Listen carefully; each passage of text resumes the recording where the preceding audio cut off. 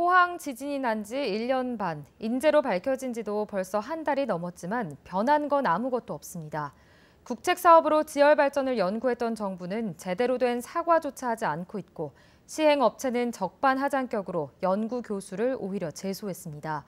지방 도시 포항을 무시하는 것 아니냐는 불만이 쌓여가고 있습니다. 김기영 기자가 보도합니다. 지열 발전 실증 연구 사업을 주관한 넥스지오. 규모 5.4의 지진을 촉발해 포항 시민들에게 끝나지 않은 고통과 수천억 원으로 추정되는 재산 피해를 입히고도 공식 사과는 없습니다. 지난해 4월 사이언스지의 유발 지진 가능성을 제기한 교수를 자신들의 연구 자료를 도용했다며 오히려 연구윤리 위반으로 대학에 제소했습니다.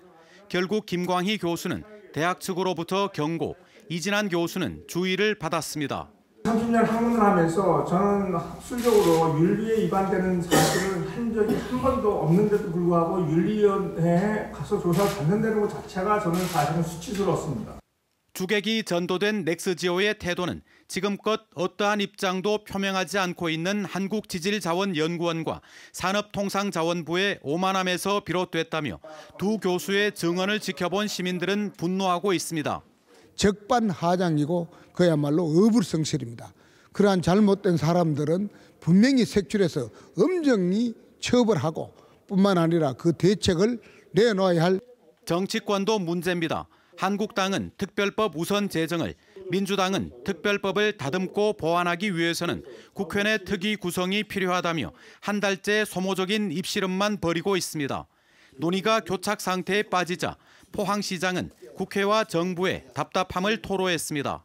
오로지 피해 국민만을 생각하면서 빨리 특별법 제정이라든지 피해 국민들이 목말라하는 그 부분에 대한 조치를 가시적으로 해나가야 되거든요. 처음부터 손해배상을 염두에 둔 특별법 제정에 올인해 진상규명이 뒷전으로 밀린 것이 아쉽기만 합니다. 이번 주 목요일 산업통상자원부 항의 집회가 예정돼 있습니다. 일종의 민심의 지진인데 포항 지진을 정쟁 대상으로 계속 삼는다면 진앙지는 여야 정부 어디로든 향할 수 있습니다. MBC 뉴스 김기영입니다.